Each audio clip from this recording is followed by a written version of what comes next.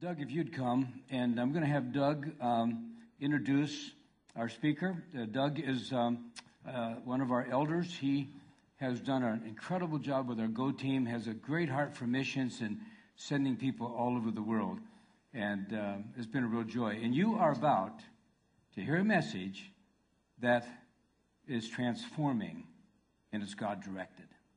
Amen. Well, first, I just want to praise the Lord, the living God, for He's doing something in our midst and changing our hearts and minds. And we're coming to a new level of maturity that is just thrilling inside, that we are looking outward more. And uh, with pastors in Bangladesh, Heeson in uh, Afghanistan, and our speaker this morning, I'm thrilled. I'm thrilled. So this morning we have a special, and this afternoon we have a special message from Bob Sjogren. Bob Sjogren is the president of Unveiling Glory, which is really devoted to awakening the church to a new awareness of God's glory.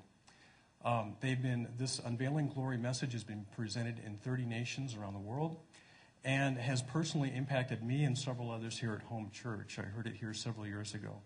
Um, uh, before that, uh, Bob co founded Frontiers Missions, which is right on the front lines of bringing Christ to the Muslim peoples of the world he has uh, written several books. They're out on the table in the lobby.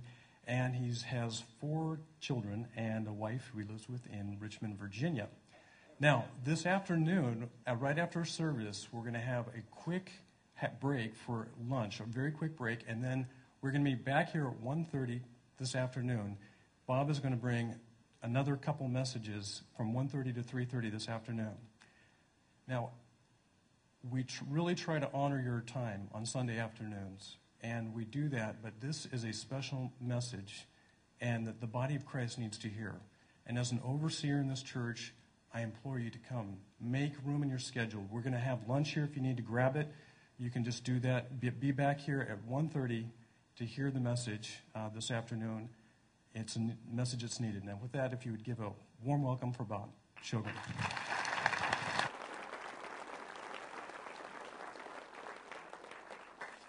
Good morning. I'm Bob. B O B, B O B, forwards, backwards, can't screw it up. I'm a very simple person with a very simple name, uh, but a passion that is inside me that I cannot, cannot stop. A passion for the glory of our Father. Before I get into that, let me introduce you to my family. I am married to a beautiful Southern belle. You can see her on the left. Her name is Debbie. We've been married for 24 years. And uh, we've got four children, two boys and two girls. They go chronologically from left to right. Our oldest is Luke. Luke is 21 years of age. He is a senior at James Madison University, the state school in Virginia, and uh, he graduates this spring and feels called to go to Somalia uh, in, in Africa. So he'll be working over there. Next is our daughter, Elise. We homeschool all of our four kids. Elise graduated a year early, so she had a free year, so she spent time in Amman, Jordan. She went to Amman, Jordan as a nanny for a missionary family. And uh, that caught her heart. And so she learned, she began to learn Arabic, still learning Arabic, and uh, she'll probably end up in the Middle East. Next is our daughter, Abigail. Abigail is uh, 18 years of age. She's a freshman uh, at uh, James Madison University. Elise is a junior at another university, Christopher Newport. But Abby's a freshman where her brother goes. And uh, like her sister, she graduated early and spent time in Mozambique, working at an orphanage fell in love and left her heart with about 44 uh, orphans uh, at a small orphanage in Mozambique. Next is the big boy, Hunter. Hunter is uh, going to be 16 this Wednesday, and he loves basketball, Jesus, and video games, hopefully not in that order, and uh, is a absolutely great kid. We love to have him. But uh, I'm here uh, to help you understand something that we don't like to talk about and it's something about the church, and, and it deals with what I call conflicting and confusing communication. Conflicting and confusing communication in the church. So, in order to help me out, where are my high schoolers? Let me see my high schooler hands. Okay, all of you guys up front right now. Right now, come on, get up, up front, get up, come on, we're waiting on you. Erica, and Eva. I need four volunteers with you. I need 10 people up front. So, Erica and Eva, you guys have to pick them out. Come on, come on, guys, let's go. The whole church is waiting on you. Okay, women, you get the chairs. Men, you're on the floor, except for the 10 that they, Eric and Eva, get. Now, Eric and Eva, you know, Dad, I hate it when missionaries stay at our house. Never again. Uh, but come on, guys, give me 10 people and get up here in front. Let's go. Get 10, Eric and Eva. 10 people and bring them up front. Just, just, that's right. Just pick them out. Let's go. Yeah, it doesn't matter. Because this talk deals directly with you high school students. Come on, 10 people. Okay, just 10 high schoolers. Let's go. Okay, you guys can count, right? Can you guys count how many are up there? Thank you. Here you go. Come on. Stand up here, right here. Right here. Stand up here so everybody can see you. Come on. I'm, they're applauding you that you can count. Now, is that embarrassing or what? That is embarrassing. One, two, three, four, five, six, seven, eight, nine, ten. Okay. Two of you stand off here to the side. Right there. That's fine. Right there. Okay? There's eight of you, right? Okay? Guess what? Statistics say that after you graduate from high school, you eight will no longer follow Christ. Nope. 80% of you are going to be called what's called the de-churched. The de-churched are those who say, I'm tired of the hypocrisy. I'm tired of the rules. I'm tired. I'm going my own way. 80% of you once you leave high school. Why? Because there's conflicting and confusing communication in the church. Okay? Four of you, take a knee. You four, take a knee.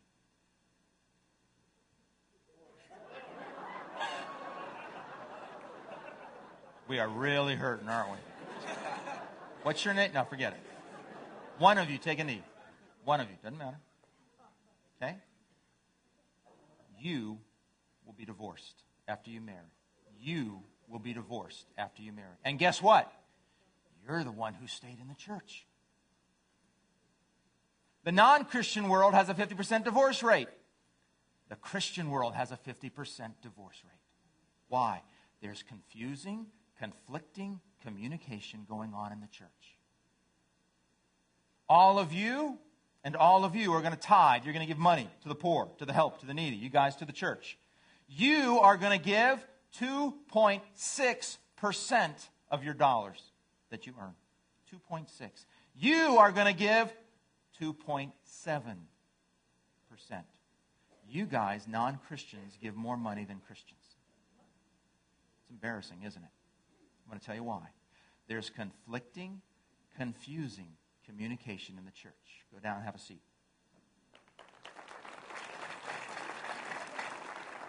Let me help you to understand this conflicting and confusing communication going on in the church. And if you guys learn the difference in the communication, it's going to save your marriages. Oh, don't worry. When we get married, we'll be in love. Grow up. Everybody's in love when they get married.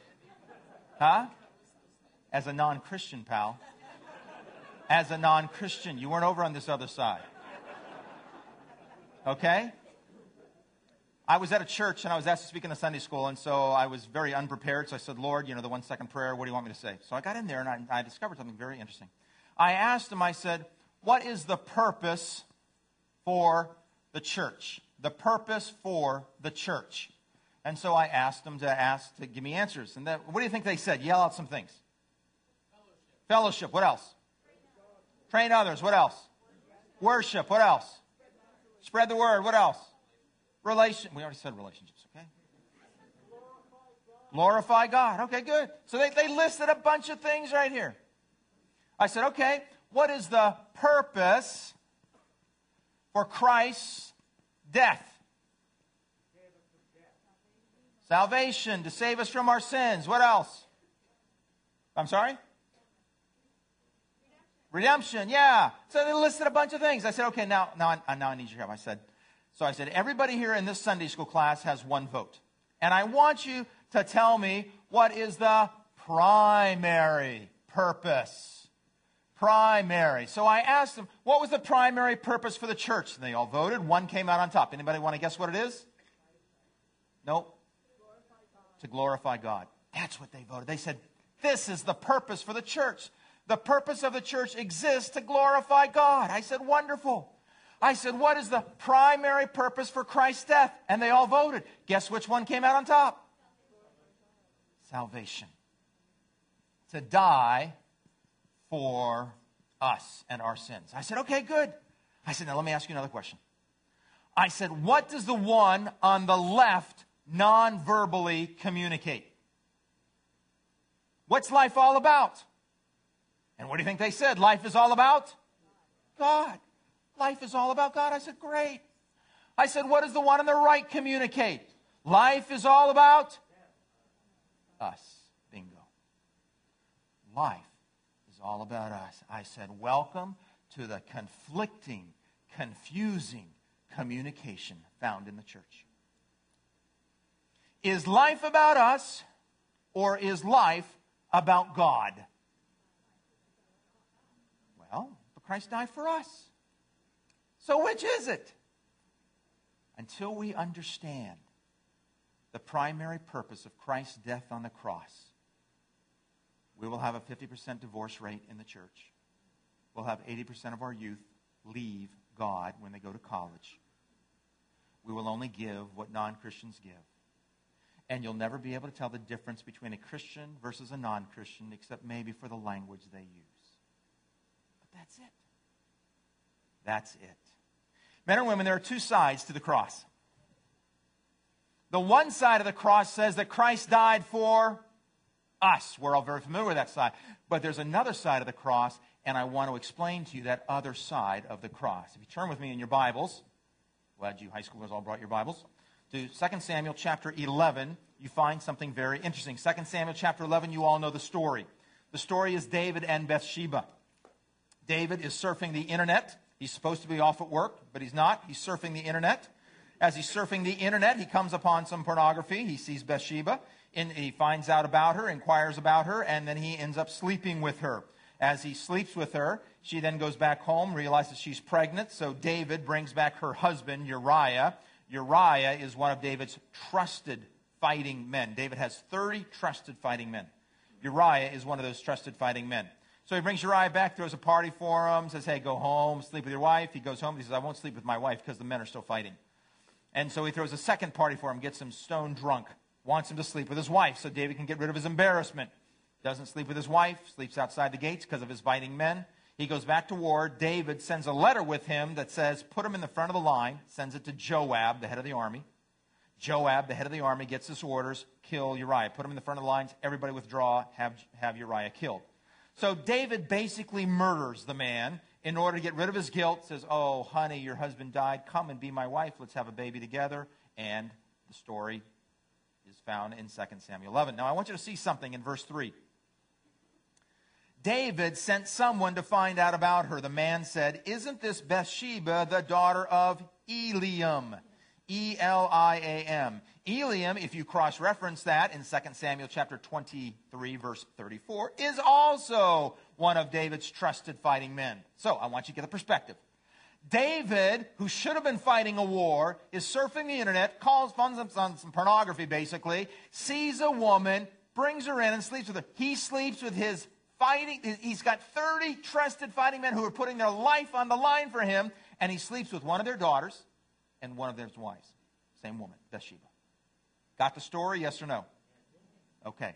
Now, somewhere in the midst of these pages is a story. It's not written, it's not in the Bible. It deals with Uriah's parents, who are Hittites. Hittites, they're not Israelites, they're Hittites, Uriah the Hittite. And that story goes something like this The wife walked in from the market. Husband, there's a rumor going around town. The husband looks up from the table where he was eating. So there's always rumors going around town. What are you talking about? No, you need to know this rumor. What's the rumor? The king has slept with our daughter in law. Woman, are you crazy? What are you talking about? It's all over town, husband. How do they know? Well, some of them saw one of the king's servants leave the palace and go to Bathsheba's house. And 30 minutes later, Bathsheba came out dressed up with perfume and she stayed there all night. How do you know he slept with her? Husband. What else do men do with beautiful women all night? Of course he slept with her. I don't believe this. Husband, it's all over town. I expected this from the God of the Hittites and from the king of the Hittites because they have no morals, they have no values, but the God of the Israelites, the king of the Israelites, this doesn't make sense. Eight weeks go by, wailing from the wife, My son, my son, he's dead. He's dead. The husband tries to comfort her when all of a sudden there is a silent knock at the door. The husband goes and opens the door. Joab, Eliam, two of David's trusted fighting men, you've come to console us from the loss of our son Uriah. Oh, thank you for coming. They walk in the door quietly and sheepishly. Thank you for coming. Why are you here? He looks to Eliam. Eliam looks down at his feet, doesn't answer. He looks to Joab. Joab is speechless. Why are you here? Please tell us. Did our son die valiantly? Yes, your, your son died uh, valiantly. Um, we're here to ask you a question. Yes, yes, what is it? Your son, he was here a couple of weeks ago and, and uh, was with the king. Yes, yes, the king threw a party for him and, and uh, honored him greatly. Our, our, our son loved the king. He honored the king. He served the king with all of his heart. Yes, it was a great party, we heard. Uh, did, did anything happen between the king and your son? Not, not that we know of. Everything was fine. In fact, he asked him back a second night and threw a bigger party for him, and he got drunk. But you know what? He loved you men on the front line, and he never went into his house and slept with his wife because he wanted to honor you. He honored the king, he honored you. You know our son was a man of character. You know our son was, was a tremendous man of God. Yes, we know that, they said quietly. Um, did you, did, did, the king gave him a note. Oh, yes, we saw the king give him a note. It was sealed with the king's signature. Did you read that note? Of course, we didn't read the note. It's a signature of the king. You never break a signature of the king.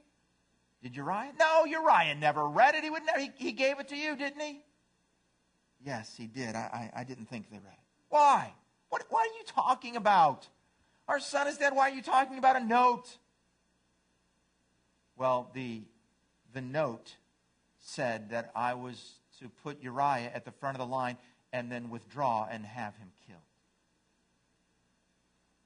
What? The king wanted our son killed? Yes, that's right. Why would he want that? Well, we don't know. That's, that's why we've come. We, we want to find out if anything happened between the king and, and Uriah.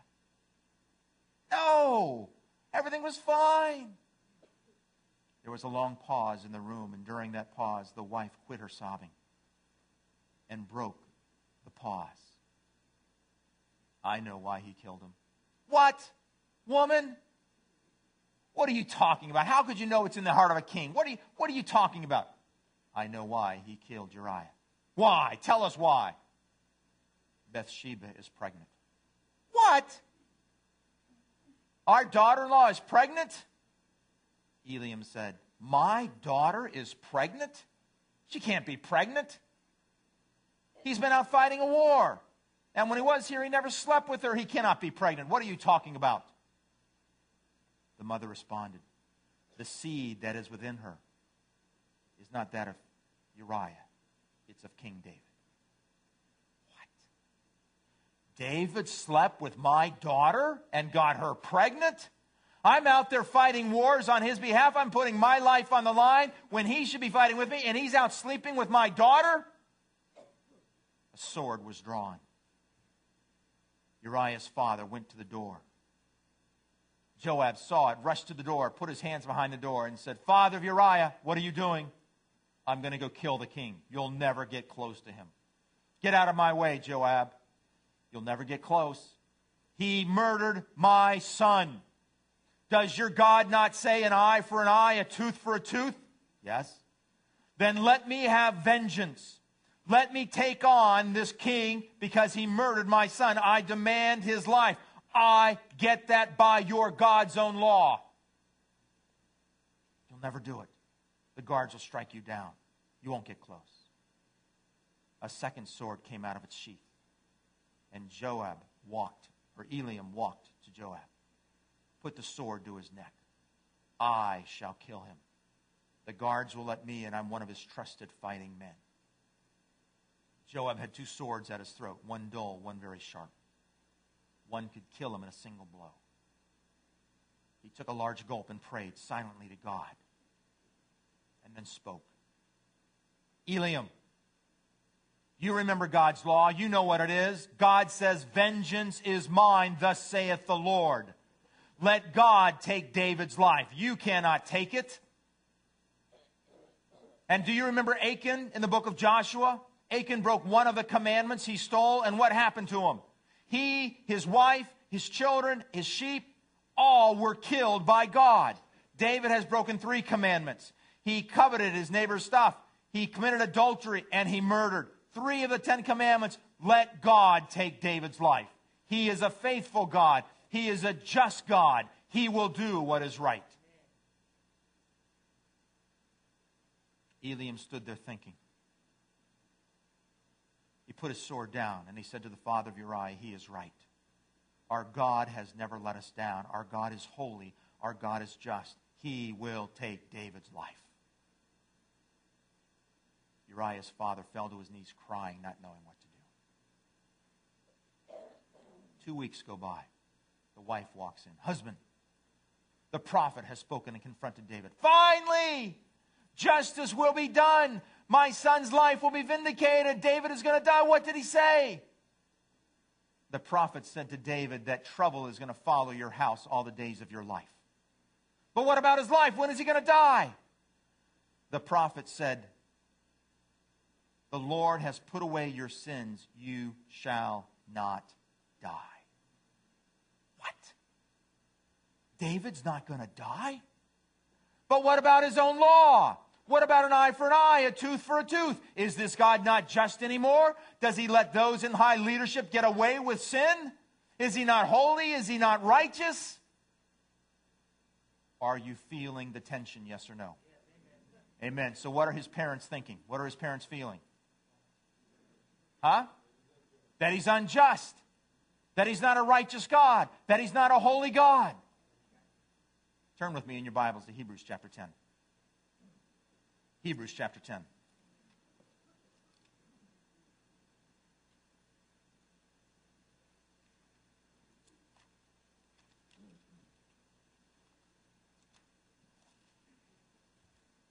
Hebrews chapter 10, we read these words about the sacrificial system of the Old Testament. It says these words The law is only a shadow of the good things that are coming, not the realities themselves. For this reason, it can never, what can never? All the sacrifices of the Old Testament, the lambs, the goats, all these things. For, for this reason, it can never, by the same sacrifices repeated endlessly year after year, make perfect those who draw near to worship. If it could, they would have stopped being offered. For the worshippers would have been cleansed once for all and would no longer have felt guilty for their sins. But those sacrifices are annual reminders of their sins. Okay, here's the key, verse 4 because it is impossible for the blood of bulls and goats to take away sin. It is impossible for the blood of bulls and goats to take away sin. So in the Old Testament, they had to go once a year, offer sacrifices for their sin. What Hebrews is saying is their sin was never dealt with, their sin was never punished. That's what it's saying. So, the sin of multiple people in the Old Testament was never dealt with. And because of it, God had a PR problem. God had a public relations problem. People did not think he was holy. People did not think he was just. People did not think he was righteous. Turn with me to Romans chapter 3, verse 25, and find out why Paul says Christ came to die. Romans chapter 3, Romans 3, 25 and 26. Paul, in speaking about Christ's death, says these words. Now, I'm reading from the NIV. If you got the NIV, read with me and yell out when I do not speak. So you can fill in the blank. God, God being the holy God, presented him, Christ. God presented Christ as a sacrifice of atonement through faith in his blood. He did this. Why? He did this to demonstrate his what? His justice God did this to demonstrate his justice because in his forbearance or in his patience, he had left the sins committed beforehand unpunished. Feel it? Unpunished. God did not punish David the way he should have been punished. He left the sins unpunished. He did this to demonstrate his justice at the present time, so as to be just and the one who justifies those who have faith in Jesus. In other words, Paul says, when Christ came, God sent Christ to vindicate his name, to make his name holy, to make his name righteous, to say that he is a just God. He is a righteous God. All those sins in the Old Testament were not just left go of and not dealt with. He did deal with them, but he dealt with them on the cross with his son. He never really dealt with them in the Old Testament because the blood of bulls and goats doesn't take away sin. So Paul says that Christ came to vindicate his name. Well, what about Christ? Why did Christ think he came? In John chapter 12, verses 27 and 28, Christ is walking to Jerusalem. He's going to the cross. And as he's going to the cross, he's talking to his disciples. He knows he's going to die the worst death any human can die. Now, how, does Christ, how did Christ die? How does anybody die on the cross? Okay? You all know how it happens one nail in one hand, one nail in the other, one nail through the two feet. But he doesn't die because of the nails. He's hanging on the cross in agony with pain in his hands. He's run out of oxygen. He has to push up to get some oxygen. So he pushes up in pain, breathes in a breath, collapses the pain. All that oxygen gets used up, exhales, pushes in pain, breathes in oxygen, goes back to pain. And he keeps doing this until he is so exhausted, he what? He suffocates. That is how you die on a cross. It's suffocation. I can't breathe, I have no energy, and you die. It's the worst death any human can endure. Christ knew he's going to this death. Okay, you high schoolers, here's the question. See, I saw you talking to him. No, kidding. Here's the question, high schoolers. When Christ went to the cross and talked to his Father, see, he says to his disciples, Now my heart is troubled, and what shall I say? Father, save me from this hour. No, it was for this very reason I came into this hour. He's talking to his disciples, but then he says, Father. So he starts to talk to his heavenly Father about why he's going to the cross. Now, here, here's the question. Here it is. When Christ talked to his heavenly Father about going to the cross, do you think he talked to his heavenly Father about the primary reason as to why he went to the cross or the secondary reason he went to the cross? What do you think? Primary. Do you all agree? Primary? Okay. He's got two options.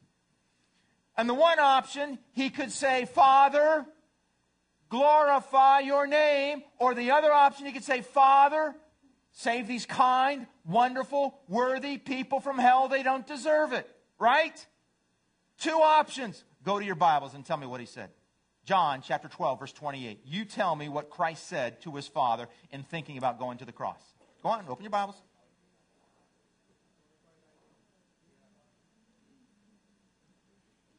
Okay, you can't yell it out. I got to take a drink of water, all right? Go to your Bibles, look at it.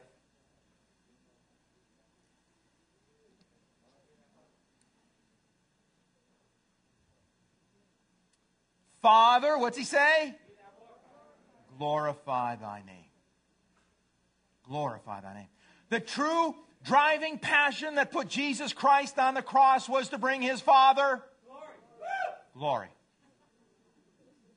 But we get conflicting, confusing communication in the church. Why? Like a rose trampled on the ground, you took the fall and thought of me. Above all, theologically, it's an incorrect song. Theologically, it's an incorrect song. He did not think of us above all on the cross. He thought of his Father's glory. And then all of a sudden, all of a sudden, we realize it's not about us. Christ died primarily to glorify God. And we have a consistent Christianity, finally, once and for all. The purpose of the church is to glorify God. The purpose of Christ's death is to glorify God. And I'll bet the purpose of you guys going to school is to. No, they, let them say it. I'll bet the reason you guys go to school is to. For what? Oh, yeah, but what do most students go to school for? Education. Why? To be smart. Why? Why do you want to be smart? Get a good job. Why? Right, so that you can have a island. Exactly. A nice, safe, comfortable life. Right? Right? And what you've just communicated is that life is all about us. The reason I go to school is to get a job, to get a nice career, and have a nice, safe, comfortable life. And you've missed it. You've missed it. That's why 80% of you are going to fall away as soon as you get out of here. That's why half of you are going to divorce. I'll never divorce. Oh, grow up. Come on. Unless you live with a driving passion to glorify God, odds are 50% you're going to divorce. And all of a sudden, you realize life is about glorifying God. And you find a consistent theme in the Word of God. No matter what page you turn to, no matter what section you go to, you find a theme, you find a ribbon, you find a, a thread of communication in page after page of the Bible about glorifying God. And all of a sudden, life begins to make sense. Chapter 1 in the creation is God putting his glory on display in the heavens. The begat section is all about God's glory, taking one cell from a male, one cell from a female, and creating a new human being. It's the glory of God. Joseph is about the glory of God. Abraham is about the glory of God. The promised land is about the glory of God. Uh, the dispersion is about the glory of God. Where Jesus located his ministry is about the glory of God. Paul's suffering is about the glory of God. The revelation is about the glory of God. And all of a sudden, you realize life is about glorifying God. It's no longer about me. If the purpose of the church is to glorify God, if the purpose of Christ's death is to glorify God, I'll bet the purpose of your marriages is to. I bet the reason you go to work is to. I'll bet the reason the way you drive should be to. I'll bet the way you raise your children should be to. I bet the way you obey your parents should be to. The way you treat your teachers should be to. And the way you play basketball should be to. No, I play basketball to win. I missed it. I missed it. I invested in the stock market for my retirement. I missed it. But God wants me to have a good retirement. Not necessarily. Not necessarily. Did you ever study the book of Job? Well, he had a good retirement. What are you talking about? Oh, no, not Job. You see, when we focus on us, we always relate to the winner, the victor, the champion in the scriptures. When you live for the glory of God, you study everybody in the book of Job and you say, why don't I ever relate to Job's kids? Job's kids? They all died. Why would I relate to them? Why not? Why do we always have to relate to the one who comes out winning in the end? Can you imagine the conversation Job's kids had with God? They had a godly father, right? Yes or no? You think they made it to heaven? Yes or no? I think so. I think we're going to meet him in heaven. And I think when they got to heaven, all ten of them at once, they said, Lord, uh, could we have a little conversation with you? Oh, yes, I'd love to. Yeah, uh, you took us all at once. Why was that? Oh, I loved you all so much, I allowed you to come home early. yeah, God, uh, uh just why exactly did you do that? Oh, I wanted to give your father an opportunity to glorify me by teaching him a lesson. What? You teach our father a lesson so you take us home early? Yes, that's right. But God, I, I was going to inherit the business, would say the oldest son. And the next would say, Lord, I was hoping to go into the ministry. And the next one said, Lord, we were recently married and, and we just wanted to have kids. And the last man said, Lord, I was just hoping to get married. To which I believe the Lord would say, Oh, I'm sorry, it wasn't about you. It never was. Lord, that just doesn't seem fair. Oh, the way I run my creation is not based on fairness. The way I run my creation is based on revealing my glory. And what I did through each of you, my glory shone brightly. But here I have something for each of you, this, and he rewards them. What? We get all this? Oh, yes. You played your role in revealing my glory so well. Some I bless with things, Some I allow to be persecuted. Some I bring home early. It's all part of a beautifully stained glass window which reveals my glory. Men and women, life is not about you. But I'm not happy in my marriage. So? Who said it was about you being happy? It's about you glorifying God in your marriage. So you start doing things that'll make God look good. But I don't want to obey my parents. So? Who said it's about you feeling good? You obey your parents to glorify God. That's not going to make me feel good. Well, guess what? The cross didn't make Jesus feel good either. And Jesus was on the cross primarily to. And if Jesus endured suffering for the glory of God, I think you guys can do a little suffering to obey your parents. And you parents can do a little suffering to make your children grow in the glory of God. Life is not about us. But because we tend to think it's about us, we can sing songs totally differently. Can we have those last verses, please? We sang it. We're going to get the verses up? There we go. You can see them back there. I can see them. I don't know if you can see them, but. You are my shield, my strength, my portion, deliverer, my shelter, stronghold tower, my very present help in time of need. Now, there's two ways you can sing that song. What's the one way you can sing it? Oh God, I'm in need. Get me out of this crisis. My 401k is a 201k. God, I, am having a hard time making payments on the house. God, I lost my job. Oh, God, I'm in need. Help me. Period. Help me. That's if we think life is all about us. What's another way we can sing the song? God, I'm in time of need. Give me strength to glorify you with a good attitude while I am wondering what's going to happen to my retirement, while I'm wondering what's going to happen to my house loan. Maybe I'm supposed to lose the house and go to Afghanistan and to share my faith over there. Maybe that's what God wants. Lord, help me in this time of need to glorify you. Two different ways you can sing the song. Two different Christianities two totally different Christianities. One Christianity says it's all about glorifying God, one Christianity says it's all about us. And when you think it's all about us and you get that confusing, conflicting communication in the church, you go to church, you do all the rules, you keep them for one primary purpose. I want to be blessed by God. That's the only reason you obey the rules. You want to be blessed by God. This is the best book I've read in the past 15 years. I brought a couple copies. If you want it, it's called The Prodigal God. In this book, he says there's two types of sin that Jesus talked about in the story of the prodigal son. It's really the prodigal sons.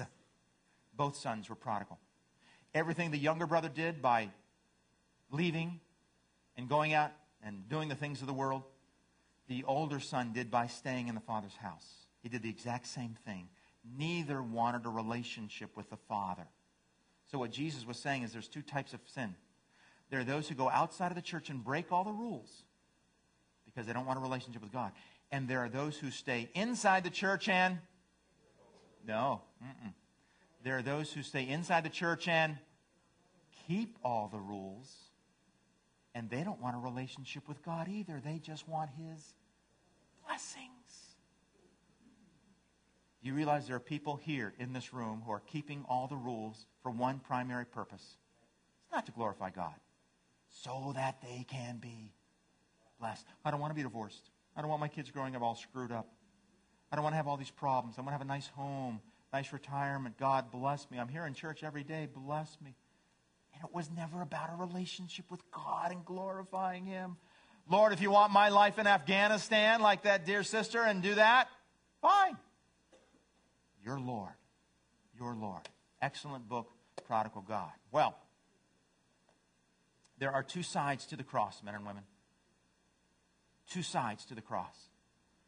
This side you're all very familiar with because you see it week after week, and that is Christ died for us. It's true, it's real, it's not incorrect, but it is incomplete.